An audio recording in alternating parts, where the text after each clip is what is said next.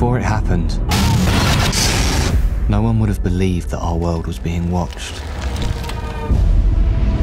And yet, across the gulf of space, an enemy regarded this Earth with their envious eyes.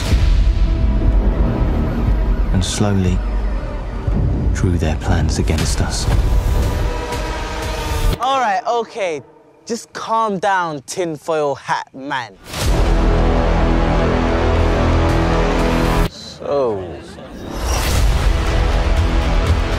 Don't know what they want.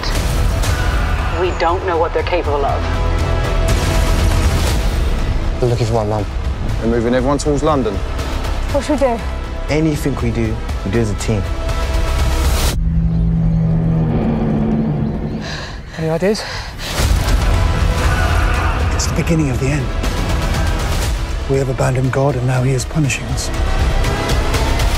We can keep running, we can keep hiding, or we can fight.